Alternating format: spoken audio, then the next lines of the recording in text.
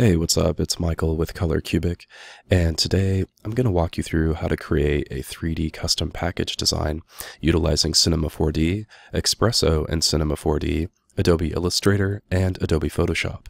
So by the time we're done, we're going to get something that kind of looks like this. All right, let's get to it. So I'm going to jump into Illustrator, and right away, I already have my canvas predefined as 10 inches by 10 inches. Now, you don't need to follow along verbatim, but you're more than welcome to if you'd like. Uh, before we really get started, though, there's a few things I need to do, and I want to enable my ruler, and I also want to enable my grid. And I also want to come up here to View and make sure that Smart Guides and Snap to Point are both turned on. This is really an important step because essentially we'll be utilizing guides to define the shape of our package. And we'll also be utilizing the guides because those individual components that make up our package, we want them to be adjacent to one another. So we want them to be touching, but we don't want them to overlap or be slightly apart. So the snap to guides or snap to point and smart guides, that's really going to ensure that uh, they are adjacent and they do snap in place. So we also want to come over here to layers and I'm just going to create a new layer and I'm going to rename it to guides. And I'm also going to lock my first layer. So this is where we're going to put all of our guides in that layer. Now let's go ahead and zoom in here and if you just come over here to the left, I'm just going to click and drag from my ruler and while I'm clicking and dragging, I'm going to hold down the shift key. And what that'll do is that'll enable the, uh, the guide to snap onto the grid. And that's precisely what we want. Let's go ahead and do that again. And I'm just going to run through this uh, sort of quickly here because we've got a lot to cover and I don't want to spend a lot of time just creating guides. So just bear with me here while I throw this together. Again, you're more than welcome to follow along if you'd like. If you just want to watch and uh, go back and apply this to your own workflow later, you're more than welcome to do that as well.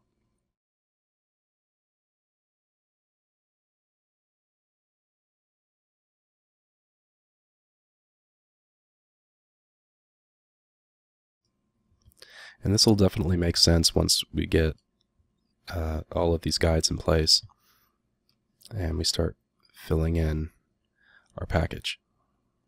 Okay, so I think that looks pretty good. Yeah, that should that should do it. All right, so I'm just going to lock my guides layer and I'm going to unlock my first layer. Now, uh, before we go right into filling this in, I want to come over here to my colors palette. And by default, I have a white fill. I just want to delete that. And then I want to toggle my black stroke so it becomes my um, fill, so it's a black fill. And now I'm going to come up here to my shape tool and I'm going to choose my rectangle tool. And now I'm going to start filling in all of the individual components of my package. So you can see that snap to guides or snap to point and smart guides is really helping to define where uh, that shape will snap in place. And we can kind of cheat a little bit and uh, you know copy and paste a few of these pieces because they repeat. And that just saves us a little bit of time.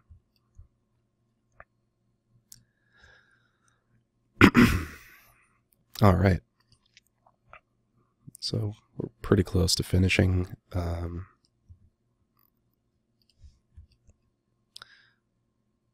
I think I'm just going to speed through this a little bit, so um, just bear with me if that's uh, if you get lost.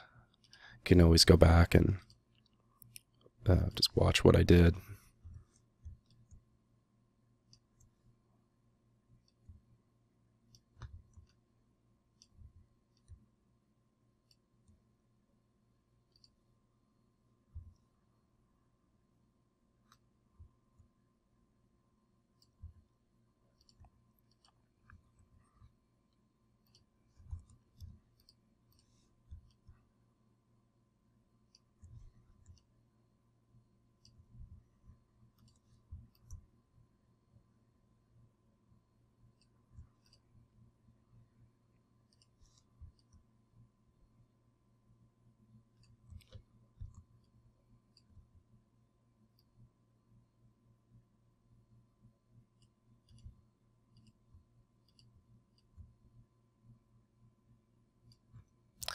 All right, so we're just about done here, but I'm going to add another guide to this.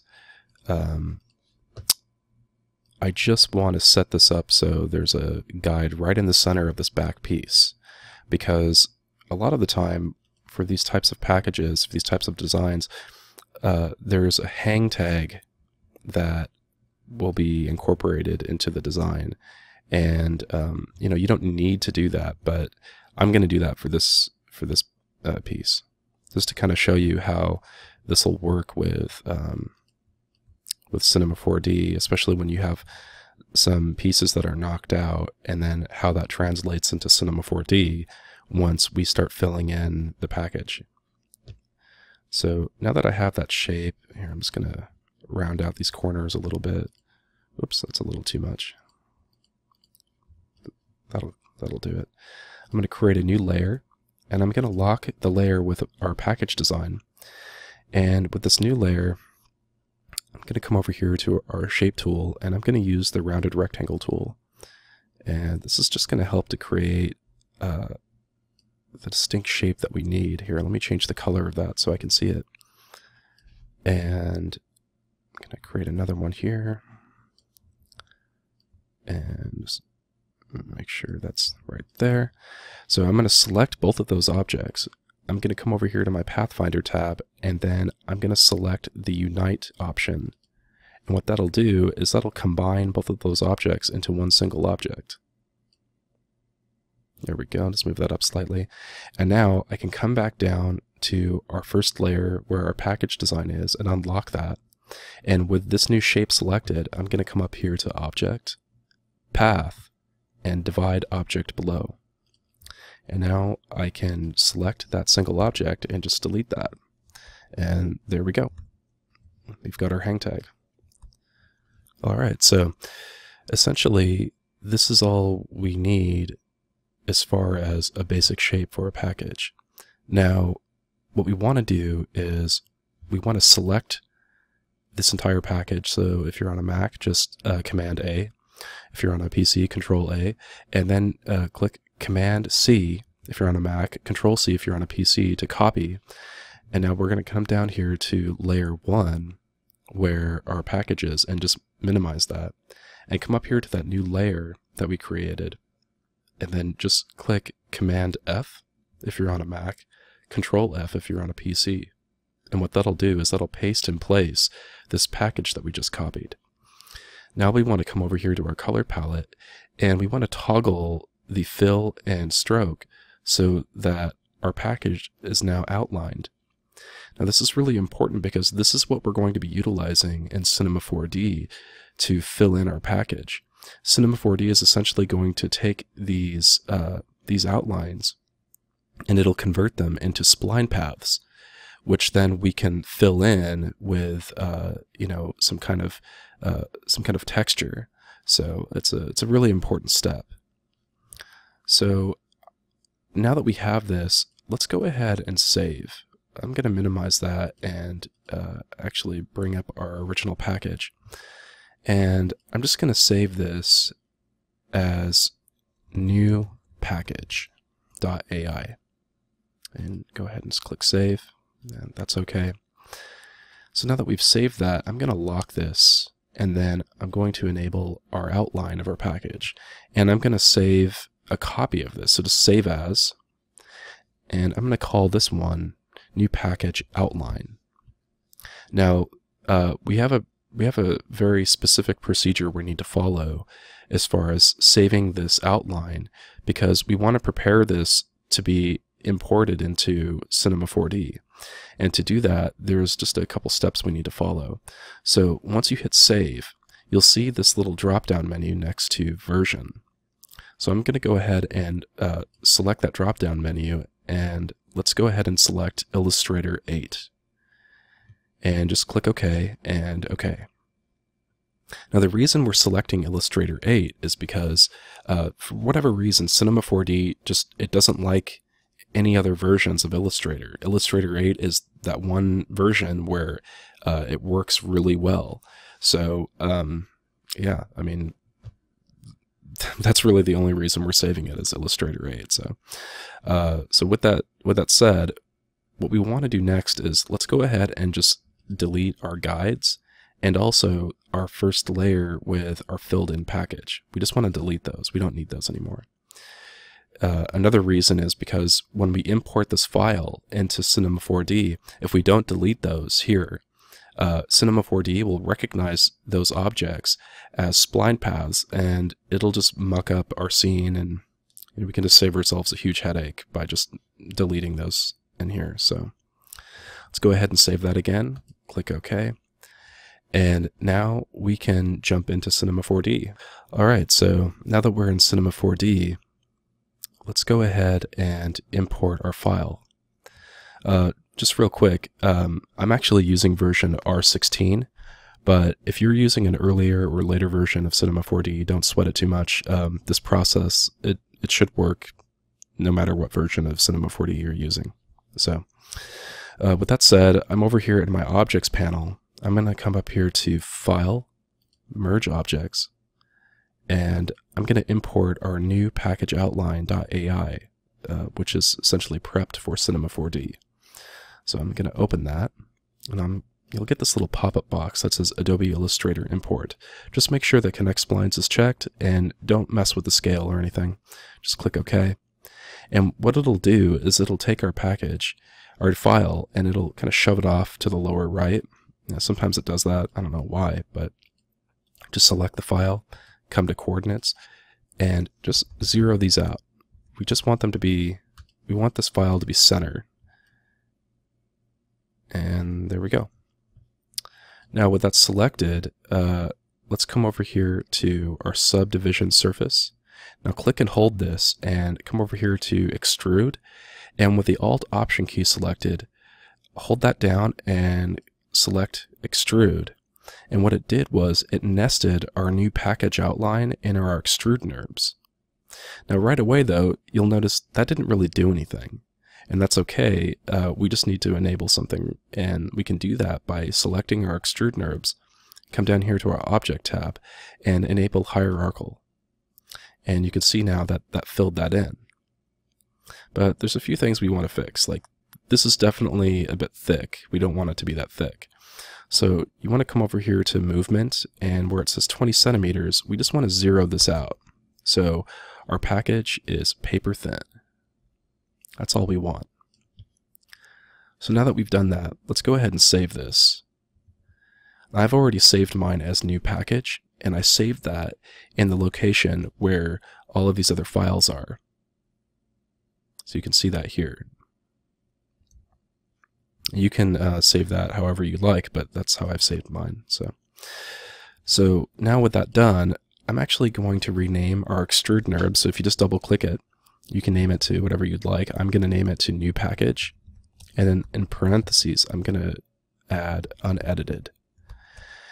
Essentially what we're doing is we're going to create a duplicate of this file, and then we're going to minimize this this unedited version just in case we ever need to go back we have something to go back to and we don't need to go through this whole hassle again so if you're on a mac go ahead and just pr press and hold the command key and then click and drag and that'll duplicate it if you're on a PC, uh, you know, press and hold the control key and then click and drag and that'll duplicate it as well.